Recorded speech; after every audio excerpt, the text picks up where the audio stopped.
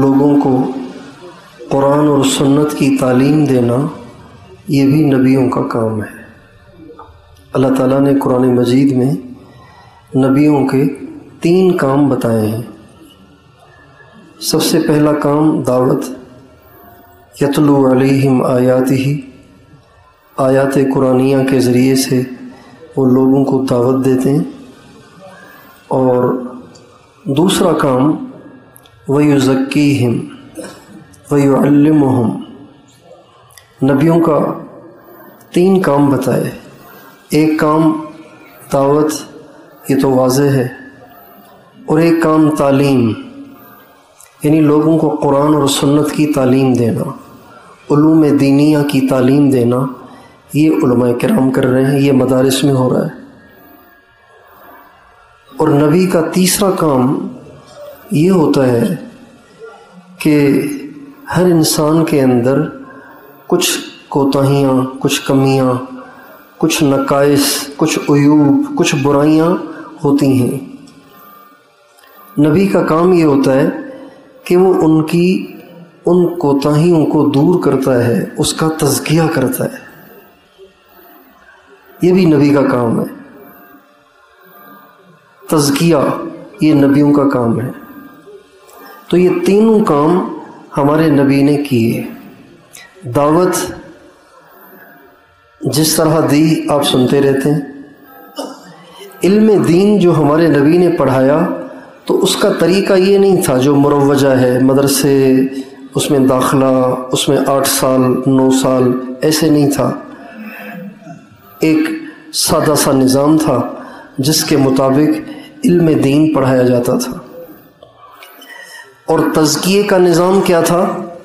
तज़किए का निज़ाम ये था कि हुजूर अकरम वसल्लम की सहबत में जब हज़रत सहाबा हाज़िर होते थे तो आप सलाम की सहबत ही से उनके अंदर की सारी बुराइयाँ ख़त्म हो जाती थी। आपकी सहबत में इतनी तासीर थी कि एक नज़र आप पर पड़ने से इंसान के अंदर के सारे अमराज दूर हो जाते थे।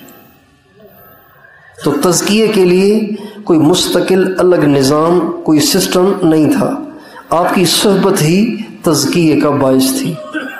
लेकिन जब हुजूर अकरम सल्लल्लाहु अलैहि वसल्लम दुनिया से रहलत फरमा गए, दुनिया से तशरीफ़ ले गए, पर्दा फरमा गए तो इसकी ज़रूरत महसूस हुई कि इल्म की हिफाजत के लिए मदारस कायम किए जाएँ और अंदर में जो बुराइयाँ पैदा होती हैं, जैसे मसलन हसद है, बुखल है बोझ है तकबर है, खुद पसंदी है, और गैर महरम की तरफ़ मैलान है, हुसन परस्ती है, ये सारे अमराज हैं जो हर इंसान में होते हैं।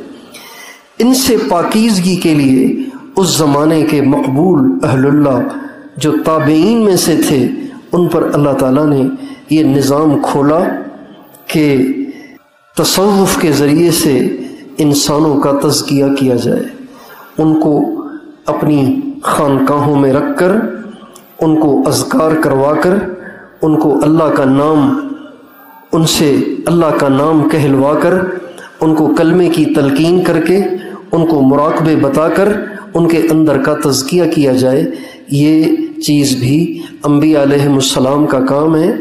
और अगरचे इसकी जो शक्ल है, वो ताबीन ने बनाई है। तो ये जो बैत का निज़ाम है, ये कोई नया नहीं है, ये हमारे अकाबिर से चला आ रहा है। तो और इसका फ़ायदा होता है। तो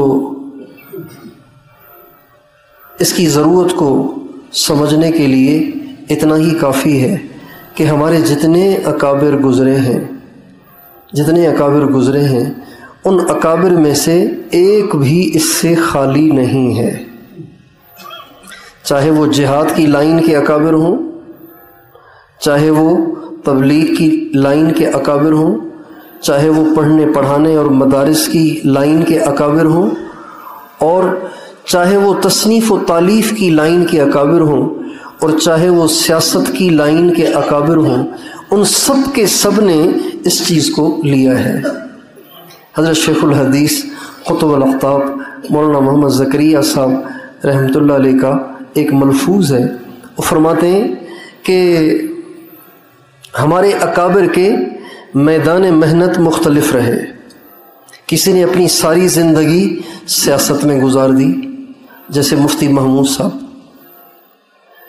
और जैसे हज़रत शेखुल हिंद और जैसे हज़रत शेखुल इस्लाम, मौलाना सैयद हुसैन अहमद मदनी, इन हजरात ने अपनी ज़िंदगियाँ सियासत में गुजारी उस ज़माने की सियासत थी कि अंग्रेज़ को निकालो। जब अंग्रेज़ निकल गया तो उसके बाद सियासत का रुख ये हुआ कि अब जब मुल्क बन ही गया है तो अब इसमें इस्लामी कानून को नाफिज करो। तो कुछ हमारे अकाबिर ऐसे हैं, जिन्होंने अपनी ज़िंदगी इस्लाम को नाफिज करने की मेहनत में खर्च की।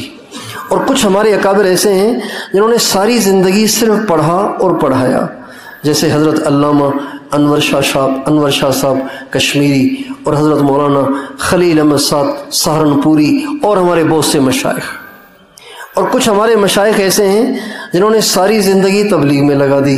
जैसे हज़रत मौलाना मोहम्मद इलियास साहब, हज़रत मौलाना मोहम्मद यूसुफ साहब, हज़रत जी मौलाना इनामुल हसन साहब, हज़रत मौलाना मोहम्मद उमर साहब, पालमपुरी और हज़रत मौलाना सईद अहमद ख़ान साहब, हज़रत मुफ्ती जैनलाबिदीन साहब, हज़रत मौलाना मोहम्मद अहमद साहब वग़ैरह, इन हजरात ने अपनी सारी, हज़रत मौलाना जमशेद साहब, इन हजरात ने अपनी सारी ज़िंदियाँ तबलीग में ख़र्च कर दी। कुछ हजरात ऐसे हैं जिन्होंने अपनी ज़िंदियाँ जहाद में गुजार दी, जैसे हज़रत सैयद अहमद शहीद रहमत हज़रत शाह इसमाइल शहीद रहमत हज़रत मौलाना अब्दुल हई लखनवी रहमत ये हमारे बड़े बड़े अकाबिर हैं जिन्होंने अपनी सारी ज़िंदगी जहाद की नज़र कर दी। ये हज़रत शेख की बात अर्ज़ कर रहा हूँ, ये उनका मलफूज है। फिर फरमाते हैं, उनके मैदान मेहनत तो मुख्तलफ रहे, लेकिन एक चीज़ इन सब में कदर मुश्तरक है। एक चीज़ ऐसी है जो इन सब के पास है, चाहे वो जिहाद के मैदान के हों, चाहे वो तबलीग के मैदान के हों, चाहे वो मदरसे के मैदान के हों, चाहे वो तसनीफ़ व तालीफ़ के मैदान के हों, चाहे वो सियासत के मैदान के हों, एक चीज़ उनमें कदर मुश्तरक है। यानी एक चीज़ ऐसी है जो इन सबको हासिल है, जिसको सबने हासिल किया, वो है तसव्वुफ़। यानी अहलुल्लाह के साथ ताल्लुक बनाकर अपने अंदर का तजकिया करना, इखलास को सीखना, तकवा को सीखना, गुनाहों से अपने अंदर नफ़रत पैदा करना, अपने आप को तोज़ो से मुजयन करना, अपने अंदर से किबर अजुब हसद बोझ और तहासुद और तबाहुज और हुसन परस्ती और दुनिया और हब्ब जा और हब्ब माल और हब्ब बाह, ये सारी चीज़ें अपने अंदर से ख़त्म करना, ये चीज़ तो सबने की है। चुनाचे सैद अहमद शहीद रहमत जो जिहाद के बड़े हैं और वो इमाम मुजाहिदीन कहलाते हैं, वो बैत हुए हज़रत शाह अब्दुल अज़ीज़ साहब दहलवी रहमत से और उनकी तरबियत की शाह अब्दुल क़ादिर दहलवी रहमत ने और उनको खिलाफत दी शाह अब्दुल अज़ीज़ साहब ने। और मदरसे की लाइन के अल्लाह शाह कश्मीरी, वो बैत हुए हज़रत गंगोही से खिलाफत मिली हज़रत शेखुल हिंद से। मौलाना इलियास साहब बैत हुए पहले हज़रत गंगोही से, उनके इंतकाल के बाद हज़रत शेखुल हिंद से बैत की दरख्वास्त की। उन्होंने फरमाया, नहीं, मैं मुसाफिर आदमी हूँ। आप बैत करें हज़रत मौलाना खलील अहमद सहारनपुरी से। चनाचे उनसे बैत हुए और उनके खलीफा हुए। हज़रत शेखुल हदीस कुतुबलफ्ताब मौलाना मोहम्मद जकरिया साहब, वो भी उन्हीं से बैत हुए, उन्हीं के खलीफा हुए। और हमारे हाजी अब्दुल वहाब साहब, ये बैत हुए हाजी अब्दुल वहाब साहब और हज़रत मौलाना ज़ाहिर शाह साहब और हज़रत शाह, हज़रत काजी अब्दुल कादिर साहब। आप में से जो पुराने तबली वाले होंगे, वो उनको जानते होंगे। झावरियाँ वाले, सरगोदा वाले। ये तीनों हज़रत बैत हुए हज़रत शाह अब्दुल कादिर रायपुरी रहमत से और तीनों उनके खलीफा हैं। हज़रत मुफ्ती जैन आबदीन साहब, मौलाना मोहम्मद उमर साहब, मौलाना सईद अहमद खान साहब और मौलाना और मौलाना मोहम्मद अहमद साहब, ये और हज़रत मौलाना एहसान हक साहब, ये पाँचों हजरात बैत हुए, हज़रत और मौलाना ज़ुबैर साहब, ये छः हजरात बैत हुए, हज़रत शेखुल हदीस, मौलाना जकरिया साहब से, और छः के छः उनके खलीफा हुए। हज़रत शेखुल हदीस, मौलाना जकरिया साहब के। तो ये ऐसा एक एक ऐसी चीज़ है कि जिससे हमारे अकाबिर में से कोई खाली नहीं है। हज़रत मौलाना जमशेद साहब बैत हुए हज़रत मौलाना मसीह खान साहब से, जो हज़रत थानवी के खलीफा थे। बाद में फिर उनका ताल्लुक हुआ हज़रत शाह अब्दुल अज़ीज़ साहब दुआजो रहमतुल्लाह से। दिल्ली के थे, बाद में पाकिस्तान आ गए थे और तबलीग के अकाबर में से थे। शाह अब्दुल अज़ीज़ साहब दुआ जो सिंध में उनकी कब्र है, उन, उनसे ताल्लुक़ हुआ और फिर उन्हीं के खलीफा हुए। हज़रत मौलाना जमशेद साहब। तो हमारे हज़रत मौलाना नज़रुररहमान साहब जो इस वक्त हमारे अमीर हैं, वो बैत हुए हज़रत ख्वाजा ख़ान मोहम्मद साहब से और हज़रत ख्वाजा ख़ान मोहम्मद साहब ने उन्नीस सौ बयासी में उनको इजाज़त और खिलाफत अता फरमाई। तो ये ऐसी चीज़ है कि जिससे हमारे अकाबिर में से कोई भी खाली नहीं है। इसी वजह से हमारे अकाबिर जिस अखलास को पहुँचे हुए थे, हम उस अखलास से कोसों दूर हैं।